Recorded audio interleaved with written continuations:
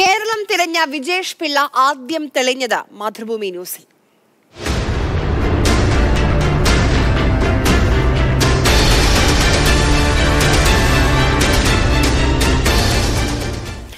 സ്വപ്നയാണ് ചർച്ചയ്ക്ക് ക്ഷണിച്ചതെന്ന് ആവർത്തിച്ച വിജേഷ് പിള്ള. സ്വപ്നയുടെ ആരോപണത്തിൽ പോലീസിൽ പരാതി നൽകിയിട്ടുണ്ട്.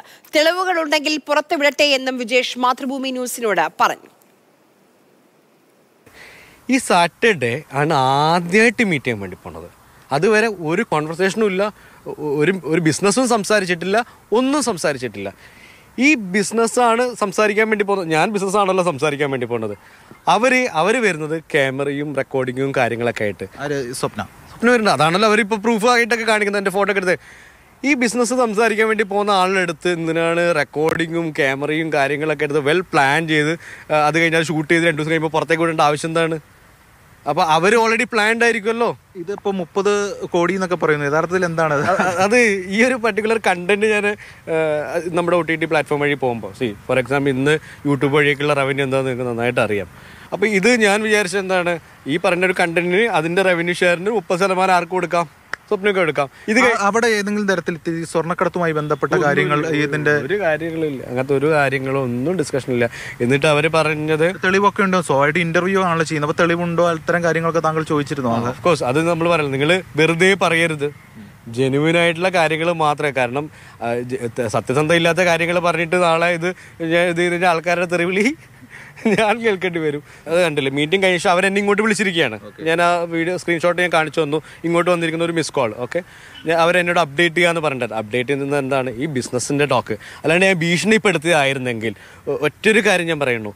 ഒരാളെ ഭീഷണിപ്പെടുത്തിയിട്ട് ഓക്കെ അതിൽ അപ്ഡേഷൻ അപ്ഡേഷൻ എന്താണെന്ന് ചോദിക്കുമോ അപ്പൊ താങ്കൾ എം വി ഗോവിന്ദൻ മാഷിന്റെ നിർദ്ദേശപ്രകാരമാണ് വന്നതെന്നാണ് മറ്റൊരു ഗുരുതര ആരോപണമായി അവർ ഉന്നയിച്ചത്. ഒരിക്കലും അല്ലാത്ത കാര്യങ്ങൾ ഞാനതിപ്പോൾ എത്രയോ പ്രാവശ്യം ഞാൻ പറഞ്ഞു എല്ലാവരും. എനിക്ക് അദ്ദേഹത്തെ നേരിട്ട് കണ്ടിട്ടോ അവരുടെ അവരുടെ റിലേറ്റഡ് ആയിട്ടുള്ള ആരെങ്കിലുമായിട്ട് ബന്ധപ്പെട്ടിട്ടോ ഒന്നും എന്റെ ലൈഫിൽ ഉണ്ടായിട്ടില്ല.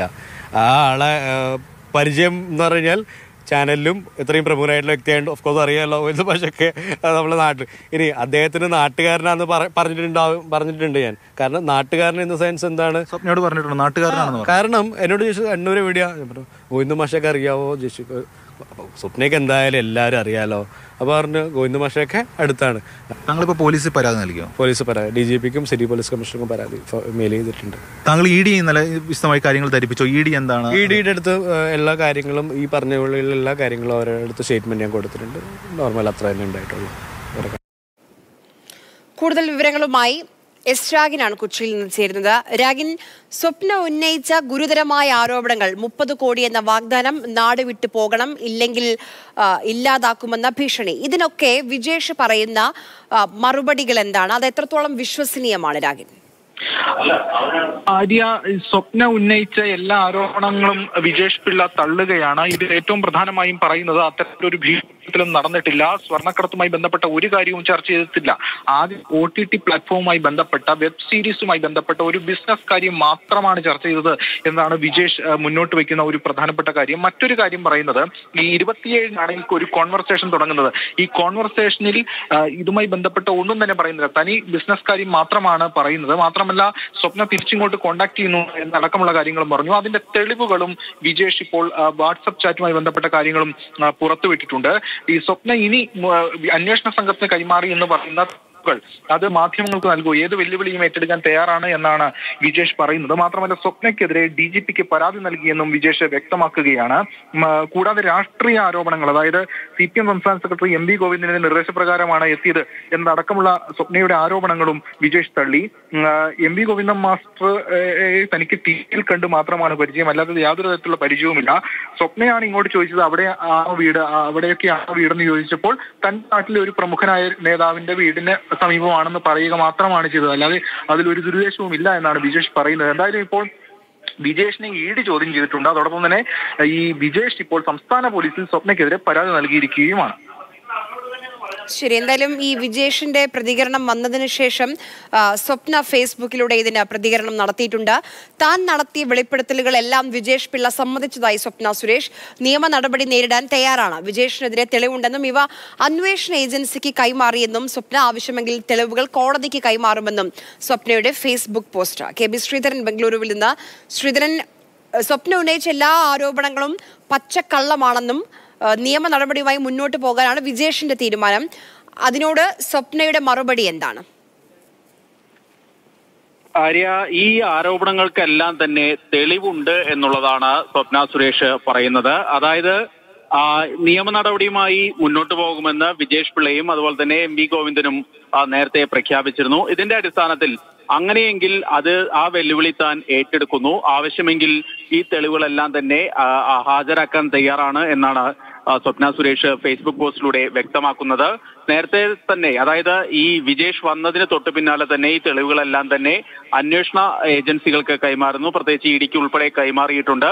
ഇനി കോടതിയിലേക്ക് പോവുകയാണെങ്കിൽ കോടതിയിലും ഈ തെളിവുകൾ കൈമാറാൻ തയ്യാറാണ് എന്നാണ് സ്വപ്ന സുരേഷ് വ്യക്തമാക്കുന്നത്. അതായത് യാതൊരുവിധ വിട്ടുവീഴ്ചയ്ക്കും തയ്യാറല്ല മുന്നോട്ട് പോകും എന്ന് തന്നെ സ്വപ്ന സുരേഷ് ആവർത്തിച്ച് വ്യക്തമാക്കുന്നു. ഏതായാലും ഈ വിജേഷിന്റെ വെളിപ്പെടുത്തലോട് കൂടി തന്നെ ഈ സ്വപ്ന സുരേഷിന്റെ ഇന്നലത്തെ ആരോപണങ്ങളെല്ലാം തന്നെ പച്ചക്കള്ളമാണ് എന്നുള്ള തരത്തിലാണ് പ്രതികരണങ്ങൾ വന്നുകൊണ്ടിരിക്കുന്നത്. ഇതിന്റെ അടിസ്ഥാനത്തിലാണ് ഇന്ന് സ്വപ്ന സുരേഷ് ഫേസ്ബുക്ക് പോസ്റ്റിലൂടെ ഇത്തരത്തിലുള്ള ഒരു പ്രതികരണം നടത്തിയിരിക്കുന്നത്. ശരി. വിജേഷ് സ്വപ്ന സുരേഷ് ഇന്നലെ ഏറ്റവും ഗുരുതരമായ ആരോപണം ഉന്നയിച്ചത് പാർട്ടി സെക്രട്ടറി സി സംസ്ഥാന സെക്രട്ടറി എം വി ഗോവിന്ദനെതിരെയാണ്. വിജേഷ് പിള്ളയെ അറിയില്ല എന്നാണ് എം വി ഗോവിന്ദൻ ഇന്ന് പ്രതികരിച്ചത്. കണ്ണൂർ ജില്ലയിൽ പിള്ളമാരുള്ളതായി അറിയില്ല. സ്വപ്ന സുരേഷിന്റെ ആരോപണം മുഖവിലേക്ക് എടുക്കുന്നില്ല എന്നും നിയമപരമായി നേരിടുമെന്നും എം വി ഗോവിന്ദൻ പറഞ്ഞു. ജില്ലയിൽ പിള്ളമാരില്ല. എവിടുന്നാണ് ഇവർക്ക് ഈ പിള്ളയെ കിട്ടിയെന്ന് എനിക്കറിയില്ല. മറ്റേ എന്റെ നാട്ടിലും അതുപോലെ കണ്ണൂർ ജില്ലയിലും പൊതുവേ പിള്ളയില്ല എന്ന കാര്യം പൊതുവായിട്ട് പറഞ്ഞാണ്. അതാ കാര്യം. അത്യാവശ്യം ഇവിടുന്ന് വന്നു താമസിക്കുന്നവരല്ലാതെ അവിടെ ആ രീതിയിലുള്ള ആളുകളില്ല. എനിക്ക് ഈ പറയുന്ന ആളെ അറിയില്ല ഞാൻ കണ്ടിട്ടേ ഇല്ല ഇന്നേ വരെ കണ്ടിട്ടില്ല. സുധാകരൻ പറഞ്ഞല്ലോ നിങ്ങൾക്ക് ധൈര്യമുണ്ടോ? കേസ് കൊടുക്കാൻ. ആയിരം പ്രാവശ്യം ധൈര്യമുണ്ട്. കേസും കൊടുക്കും. നിയമപരമായ എല്ലാ രീതിയിലും കൈകാര്യം ചെയ്യും. പിന്നെ ഇവരൊന്നും ഒരു ഷീറ്റ് വേണ്ട കേട്ടോ. ഗവൺമെന്റിനും വേണ്ട മുഖ്യമന്ത്രിക്കും വേണ്ട കുടുംബത്തിനും വേണ്ട എനിക്കും വേണ്ട. ഇവരെന്തോ ഒന്ന് ഇനി പുറത്ത് കൊണ്ടുവരാൻ എന്തോ ഉണ്ടെന്നല്ലോ. ഒന്നുമില്ല. നിങ്ങൾ വിശ്വസിക്കുന്നുണ്ടോ ഇത്? മുപ്പത് കോടി ഞാൻ ഒരു ഒരു കോടിനെ കണ്ടിട്ടില്ല. എന്നിട്ട് മുപ്പത് കോടി കൊടുക്കുന്നതിനെ പറ്റി ആലോചിക്കണം.